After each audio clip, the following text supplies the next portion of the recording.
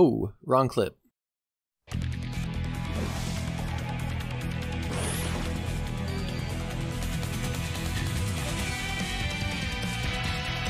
Now, no disrespect to the classic, but being born in 1990 placed me squarely in the late 90s and early 2000s era of cartoons, which meant shows like X Men and Spider Man the animated series, and in fact, a lot of the animated series, were on their way out just as I was getting to the age where you really start to enjoy those kind of action and superhero cartoons.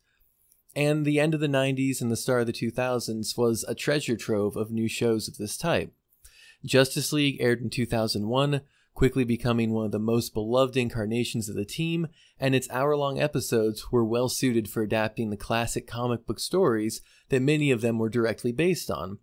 Static Shock aired in 2000 and tackled social issues like gang violence and racism head on, all while featuring a black lead written by the incredibly talented Dwayne McDuffie.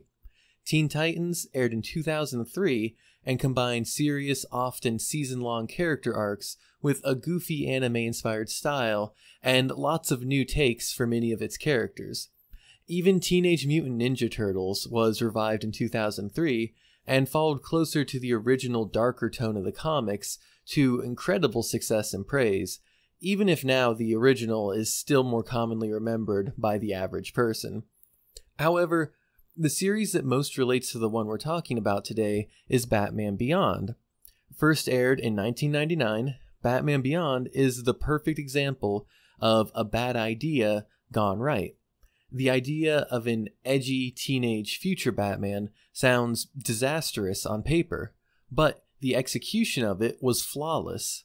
The Gotham City of the future was a gorgeous cyberpunk megacity inspired by the likes of Akira and Blade Runner Terry McGinnis, the new Batman, was a fully realized character of his own with an almost entirely original supporting cast of friends, family, and enemies, and he wasn't just defined by being a teenager.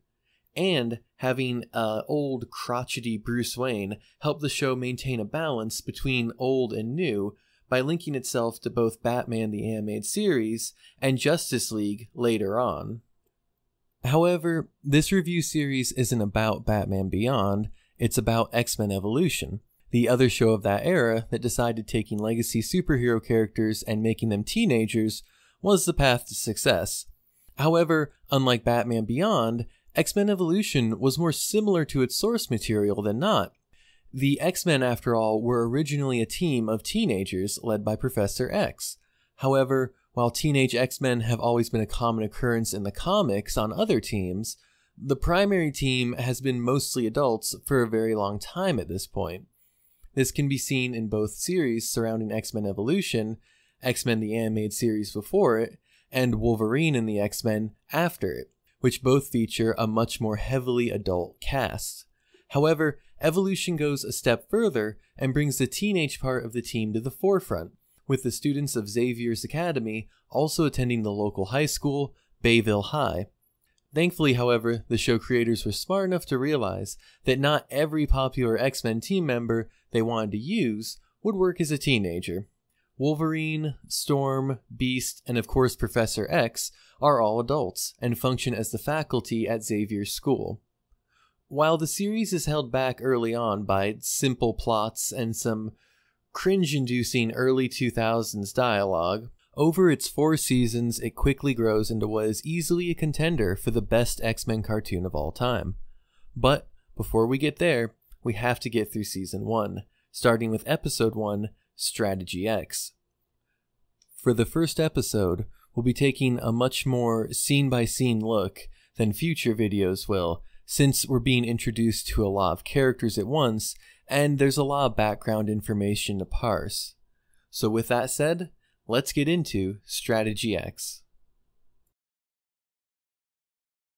Our first episode starts off about as teenager as you can get.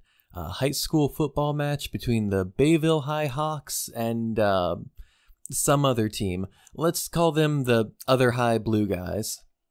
Right off the bat, we get a good sense of our characters and conflicts at play here we meet Duncan, whose reoccurring role in the series is being a horrible bastard, even by jock bully stereotype standards, and Jean Grey, who's apparently into him despite how much of an obvious bully he is, and takes photographs for the school yearbook. Speaking of, Duncan and his jock crew spot Todd Tolansky snatching wallets and decide taking a short time out to pummel the hell out of him will be really good for their morale. However, Scott Summers also notices the pickpocketing and decides to put a stop to it himself. Scott, however, argues for just having Tolansky return the cash instead of beating the poor guy into a pulp first. Naturally, Duncan, being the reasonable person he is, proceeds to ignore Scott and is about to straight up give Tolansky's head a nice ground stomp before Scott intervenes, giving Tolansky the chance to escape. Duncan starts throwing down, Jean accidentally distracts Scott for a moment, he gets knocked into a pillar, and.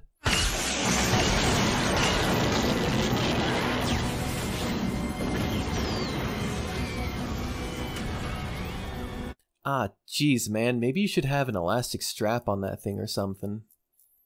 We pick up after the intro with a quick introduction to Jean's telekinetic abilities, and Professor Xavier showing up, planting a more likely cause for the explosion than punch laser eye blast into the investigating officer's head. We get a quick scene of Jean fawning over the injured Duncan, despite knowing that the only reason he was injured in the first place was him starting fights, along with a quick shot Scott, obviously distressed by how poorly Jean is being written at this point in the show, over some sweet moody guitar riffs. Uh, thanks. Really, you know? We also see fully that Tolansky himself is a mutant, who I will now refer to as Toad just for simplicity's sake. Charles hurries away from the scene to pick up the new student Kurt, who we briefly see heavily covered in clothing. Cut to Wolverine, showing up and doing what he does best riding around on motorcycles, calling people bub, and having a nice tall, uh, water. I mean, it is a kid's show after all. Out of sheer laziness and disregard for keeping Mutant secret, Wolverine slices the top off the bottle instead of just twisting the lid off like a sane person, and catches up on news of the explosion before riding off as retreated to a beautiful rotating shot of Sabretooth. Back at the mansion, we're fully introduced to Kurt Wagner, Nightcrawler. Nightcrawler is given a watch by Xavier that camouflages his appearance with a hologram so that he can attend Bayville High School with the rest of the students. Meanwhile, Toad is being pressured by Principal Darkholme to do something against the X Men, and we see her turn into a monstrous demon form to intimidate him. A brief interaction with Toad and Scott leads to an introduction to Cerebro being able to detect mutant powers, which I could understand something like Scott's powers, but how does it know the difference between Toad just jumping around and mutant hopping? Does his tongue only trigger Cerebro if he sticks it out a certain distance? Toad shows up at the X Mansion, where Professor X sends Storm to audition him by attacking him with lightning, which seems just a bit over the top. Toad ends up flying into the mansion and runs into Nightcrawler, resulting in a chase that causes at least a few thousand dollars of property damage before Nightcrawler accidentally teleports them into the danger room, which automatically activates, with Scott and Jean helping, they manage to hold off until Professor X can shut it down, and Toad flees just as Wolverine shows up to give him another scare on his way out. Nightcrawler, feeling guilty over the whole incident, teleports away and finds himself in the hangar with the X Jet. Cyclops finds him and assures him that they all make mistakes and that he should stick around, and Nightcrawler agrees no doubt partially due to Cyclops' blatant lies about the performance of their jet. The SR 77 Blackbird. Twice as fast as the SR 71 and with three times the range and firepower. Come on, Cyke. Twice as fast in a vertical takeoff landing package and three times the firepower of an unarmed spy plane? Next, I bet you're going to tell me about the 600 horsepower Hemi in your Honda Accord. Finally, the episode ends with Darkholme raging at Toad for running away after getting inside the mansion, before it's revealed that she's actually Mystique and appears to be working for Magneto. Strategy X functions well as the first episode of the series. Unlike a lot of other X Men series, the core team of Evolution isn't fully introduced for quite a few episodes, which gives the series time to grow into the team dynamic that the X Men has traditionally been based around. In fact, before the end of this episode, the students consist entirely of Scott and Jean, and afterwards, only Nightcrawler is added. Like many season 1 episodes, the dialogue is very stilted and dated sounding at times, a curse of its contemporary setting, along with trying to portray teenage lingo. The story design of introducing a new team member alongside a counterpart antagonist character will be seen a few more times, and is an effective way to introduce two characters at once while also establishing some kind of relationship or parallel between the two. Toad and Nightcrawler are both outcasts in their own way. Both have mutated appearances, with Nightcrawler's looking more extreme, but Toad's resulting in more social distance due to his smell and gross habits. And both deal with this in their own way throughout the series. And both their mutations give them incredible acrobatic abilities, along with unique movement. Most pairs introduced after this feature a personal connection before they join the team, but for Toad and Nightcrawler, their similarities come into play in later interactions.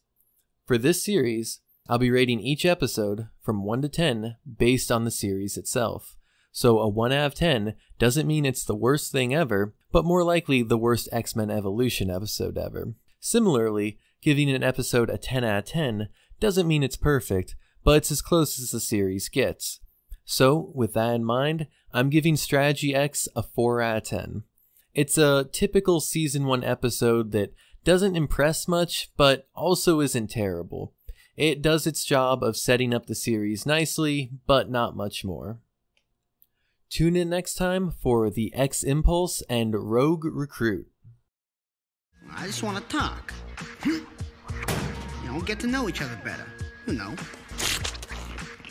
Maybe do lunch.